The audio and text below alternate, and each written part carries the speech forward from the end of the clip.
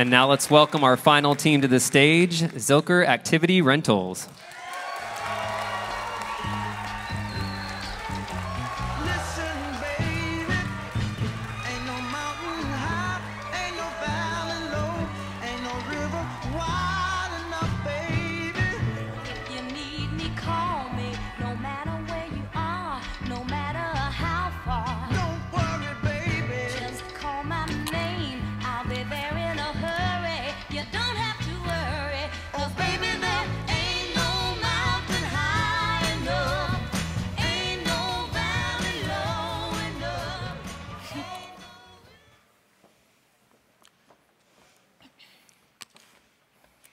Spike ball, cornhole, football, Kan Jam, frisbees, and more. Playing games at the park. It allows for friends and families to spend time together, have fun, and create memories. The parkgoers of Austin's most beloved park, Zilker Park, struggle when it comes to playing games on the 351 acre green. People wanting to be active at Zilker Park face the hassle of hauling and lugging heavy outdoor games and equipment. It's just all too much whoever you are, whatever reason is hindering your ability to make lasting memories with the people you love, Zilker Activity Rentals is there for your park enjoyment. Hi, I'm Ava Gavin. I'm Johnny Brinkley. I'm Ethan Zhang. I'm Sydney Evans. I'm Meg Calloway. And I'm Joel Quee, and we are Zilker Activity Rentals. Located in Zilker Park, Zilker Activity Rentals services park visitors with a convenient, hassle-free renting experience. Yes, like Ava said, people don't go to the park to carry a bunch of equipment and make a whole lot of work for themselves. They go to the park to make memories. So let's help them do that. As our customers roll in, we will rent out our products with a simple three step process. First, our customer looks at our selection menu and tells us what they would either like to rent or purchase. Next, they can pay for the rental via card, Venmo, or cash. And lastly, our customer is free to go and have some fun. And if our customers wish to plan ahead, we also offer an online reservation system. After many consultations with our web designer, we are proud to say that we have created a fully functioning website that offers an easy way to pay ahead. Here's what our customers will see. As you can see, our website fulfills the purpose of our service digitally, as it exemplifies both simplicity and convenience. Well, how about our competition? What competition? Something great about our business is that no other service does anything remotely similar to us. We would be the only company that gives the visitors of Zilker Park the ability to rent outdoor games or activities. But you may be wondering, why has no one else decided to pursue this business? Well, that's because of Zilker Park's permitting restrictions, which can be kind of difficult to navigate. After multiple consultations with a lawyer, communication with Colin Wallace, CEO of Austin Park Foundation, and multiple calls with existing businesses, we are proud to announce that Zilker Activity Rentals is legal to operate within the park. When applying for a permit, there is a list of requirements that a business must meet in order to obtain it. The only requirement that we did not meet said that the business must have at least three years of operating experience. However, we have found a legal loophole that involves partnering with a local business that has been operating for the required three years. Businesses such as Juiceland on Barton Springs, Holomold, and Snow Beach have already expressed their interest in partnering with us in order to help us overcome this obstacle. Earlier yesterday, we actually had a very promising conversation with Joe Draker, the owner of Maudie's, who said he loves our vision and would be happy to continue with a, an official partnership if our other plans fall through. Once we have officially gained a partnership, we will be granted seasonal six month operation at the park for $1,500 yearly. This suits our business perfectly as we only plan to operate from March through September in order to avoid events such as ACL and the Trail of Lights. Also, with the lawyer, we have created a waiver for customers to sign regarding liability and damage policy. Now, how many customers do we really have? Well, we started with the impressive 2.6 million people visiting Zilker Park annually. We then factored in the age distribution of those visitors and eliminated those who would have no interest in playing games at the park to get a serviceable, addressable market of around 780,000 people. With all these people, we need help driving this traffic to our concessions vehicle. With, With the goal of also building brand awareness, Zilker Activity Rentals will be utilizing geomarketing techniques. Geomarketing is the practice of using data location to serve marketing messages to a highly targeted audience. Geomarketing has so many applications that can help out our small local business. One of these applications being geofencing. It's as easy as this. When a customer walks past our virtual set ge geographic area of Zilker Park, they can receive a notification from us, like this. Look, I just received a notification from Zilker Activity Rentals. I'm now reminded of the, our service and can go rent my favorite outdoor activities from our concessions trailer. In order to maximize customers, we will recruit multiple ambassador-like employees. These employees will wear bright colored shirts and big smiles while interacting with park visitors. Each ambassador will make 10% of their sales for the day. Our ambassadors will be more than eager to facilitate memory making at beautiful Zilker Park. Once customers have gained interest through these ambassadors, here is what they will see. This is an assortment of what we have to offer. But how do we price our items? Zilker Activity Rentals prides ourselves on our affordable and reasonable pricing. First, we take the retail value of the piece of equipment. We then take roughly 15% of this value to get our hourly rental rate. We will also be charging $2 per water. And there's more. To honor our most loyal customers, we have decided to include a membership program. By selling memberships, our business is provided with recurring revenue and increased engagement. Our standard membership offers customers five rentals for only $20 a month, and our premium membership offers customers with unlimited rentals for $40 a month. How could it get any better? Well, while we are all making memories, let's unplug. Something unique we decided to implement into our business is a phone charging station located at our stand. What would be easier than leaving your phone with us as you play a game of soccer with your friends? Because we will be charging for the service, we will make more income, our customers' valuables are safe with us, and they are free to spend quality time with the ones that they care about. In this process, we have often been questioned about our plan regarding expansion to other cities in the future. As of right now, we are laser focused on Zilker Park and succeeding throughout the Austin area.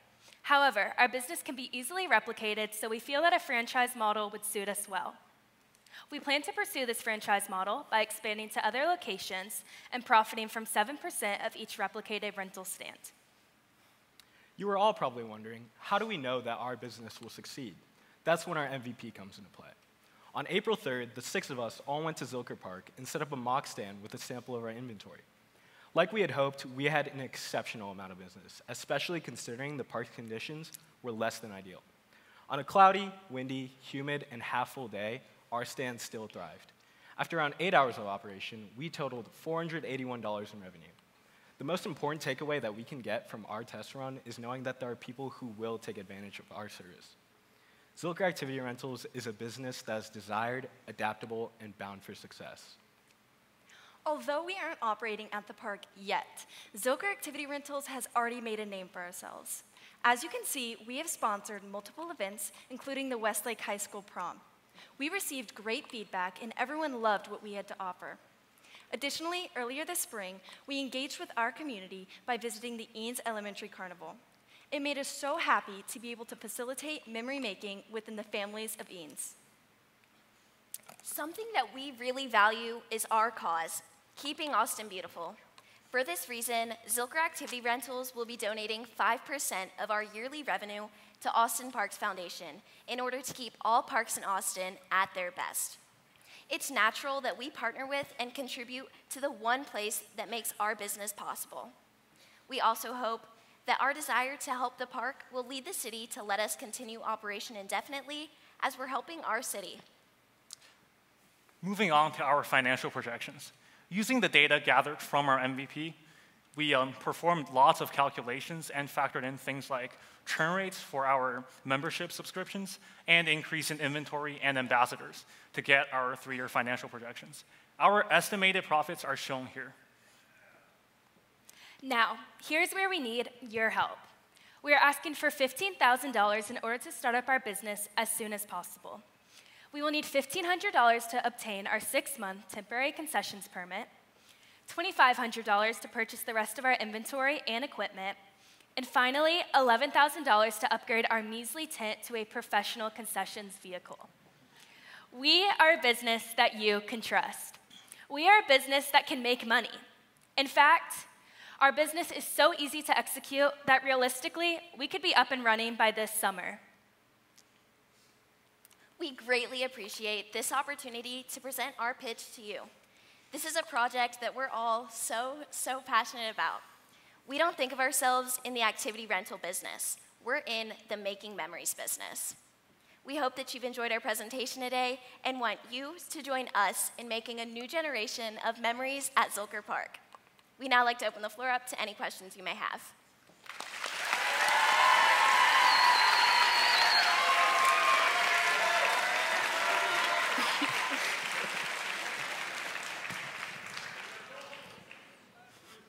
Nice job, and you guys for sure win the award for the best uh, audience participation When out you sponsor there. prom, I think that's what happens. Yeah, exactly. um, s- so, a, a couple of questions. For, or really, one. So, will the park allow you to put a permanent structure there, or is this something you have to go set up uh, every day during your window of uh, operating activity? Yeah, so- Uh, oh, sorry. You can go. I can touch on this. Um, so the park won't let us have a permanent concessions like uh, place of business like on city property, but we do plan on having a mobile concessions trailer or vehicle operated near uh, Zilker Park's volleyball courts. Okay, thank you. And I'm not familiar with Kan Jam, so will one of your smiley, uh, happy people working the counter there be able to teach me how to do that? Uh, yes, our plan for our, our ambassadors is to like invite people to play games at the park and like talk to friend groups. And yes, one of our ambassadors will be happy to help. Excellent, thank you. I can't wait to learn. Great job, y'all. Um, I really, really appreciated the we're in the making memories business. Um, I think this is a what you said. It's a product that could be making money right now. Um, it's obviously very different than a lot of the other companies that we saw pitch today. So I applaud y'all for doing something that's different um, and doing something that you know you can directly execute. And also loved that y'all were out in the park and seeing those photos. It looks like y'all are having a good time doing it. So good work. Um, and the making memories business, that could go far. So you build a brand with this, and that could go far. Um, okay, my question is about your um, your website and getting it to a place that's fully functioning. Are y'all doing that from the team, or is this something that y'all y'all have hired out, or you found someone who is passionate about it to help you execute that?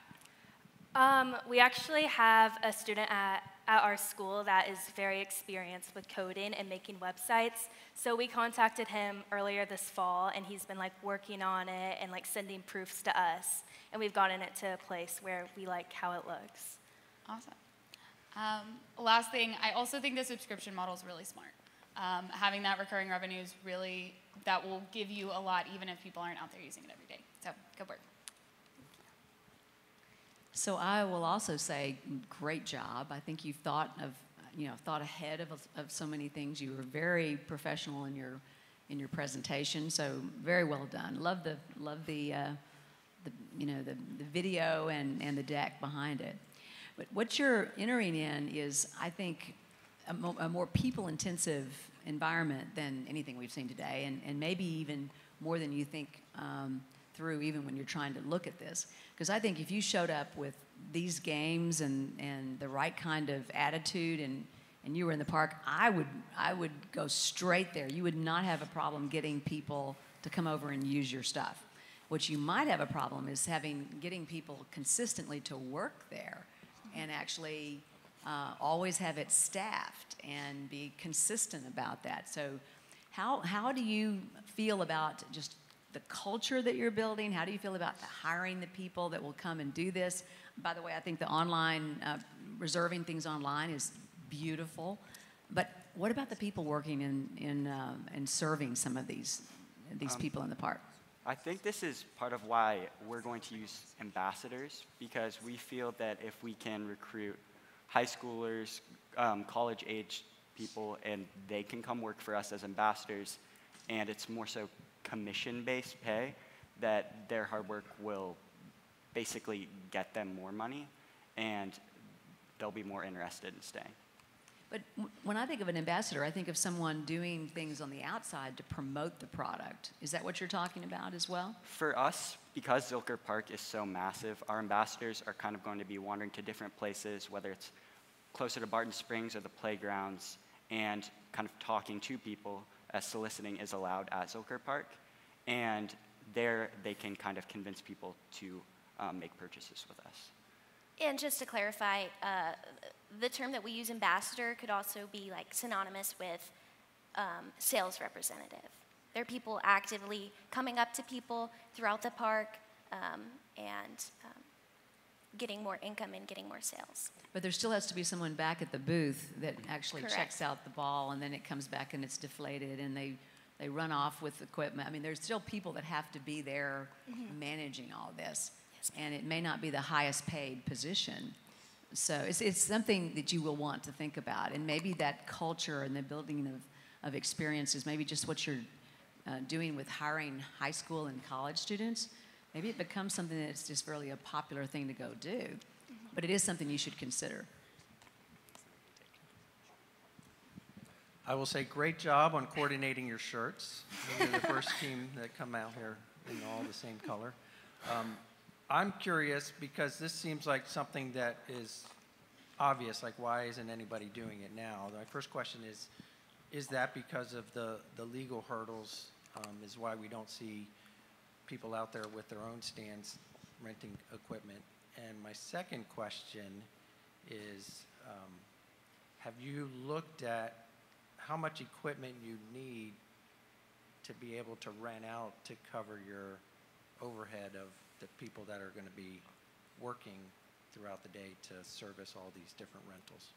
Uh, yes, sir. Okay, so for your first question, for the legal concerns, so basically the reason, like like we said, is people haven't been able to get across the requirement of a three years of operating before you go into the park, and I don't think people have necessarily thought about the the, the loophole we thought of, where basically we're going to put a different brand uh, as a like representative of us when we apply for the permit. So I just don't think people have thought of that yet, and we've got it all checked out by a lawyer, and it should be good to go because the the uh, page that, that the city sent us is very vague, so there are a lot of loopholes in it. Um, and then to answer your second question, oh sorry, could you repeat it? What the? So the second question is about how much how much equipment do you have to have in Oh, yes, inventory in order to cover your operating costs on a daily basis? Well, our plan right now is to use our $2,500 if we were granted it to purchase as much equipment as we could. And then as we gain more customers, as we get more money, we can hopefully buy more things. Um, but we're basically just going to gauge it based off how many customers we're getting, how much income we're receiving, and how much we can expand our selection. All right, great job, Zilker Activity Rentals.